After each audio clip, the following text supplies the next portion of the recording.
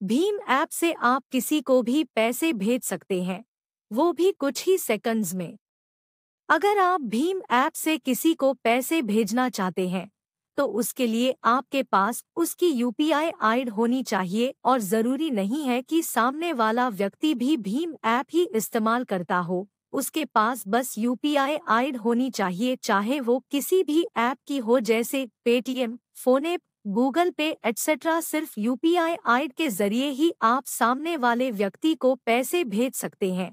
और पैसे भेजने के लिए आपको यूपीआई आईड के अलावा और किसी भी डिटेल की ज़रूरत नहीं है। भीम ऐप से आप बिना यूपीआई आईड के बिना भी पैसे भेज सकते हैं। और इसके लिए आपके पास उस व्यक्ति की बैंक अकाउंट डिटेल्स होनी चाहिए, जैसे अकाउंट होल्डर का नाम, account number IFSC code MMID code इन डिटेल्स के ज़रिए भी आप भीम ऐप से पैसे ट्रांसफ़र कर सकते हैं।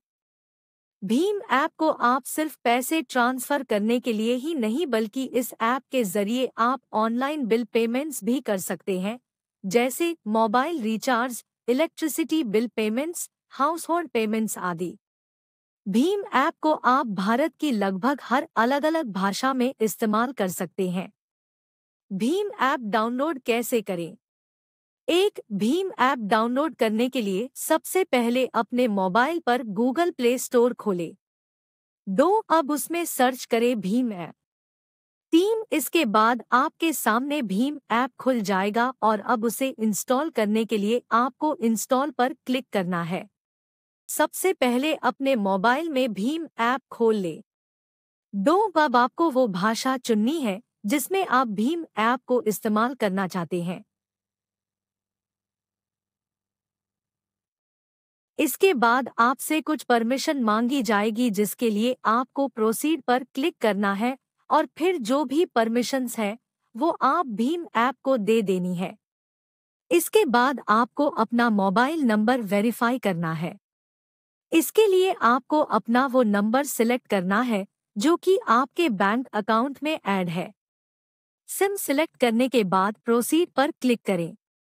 अब भीम ऐप आपके फ़ोन नंबर की वेरिफिकेशन करेगा और उसके बाद आगे प्रोसीड करेगा। पाँच, इसके बाद आपके सामने भीम ऐप में पासकोड बनाने का ऑप्शन आएगा जिसमें आपको एक चार डिजिट पासकोड बनाना होगा। छह पासकोड बनाने के बाद अब आपको वो बैंक सिलेक्ट करना होगा जिसमें आपका अकाउंट है।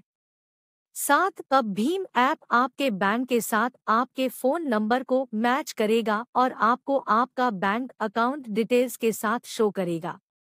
इसके बाद आपको अपना बैंक अकाउंट सिलेक्ट करना है।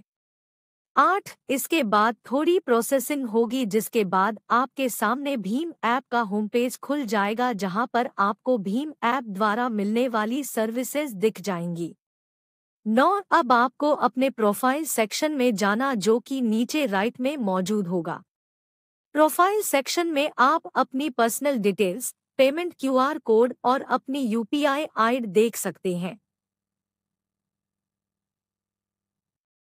इसके अलावा अपने प्रोफ़ाइल सेक्शन से आप नई यूपीआई आईड भी बना सकते हैं, जिसके लिए आपको ऐड न्यू यूपीआई आईड पर क्लिक करना है। आप चाहे तो भीम ऐप पर अपने नाम से या फिर अपने फ़ोन नंबर से यूपीआई आईड बना सकते हैं। इस प्रकार आप भीम ऐप अपना अकाउंट बना सकते हैं और ऑनलाइन कैशलेस ट्रांजैक्शंस कर सकते हैं।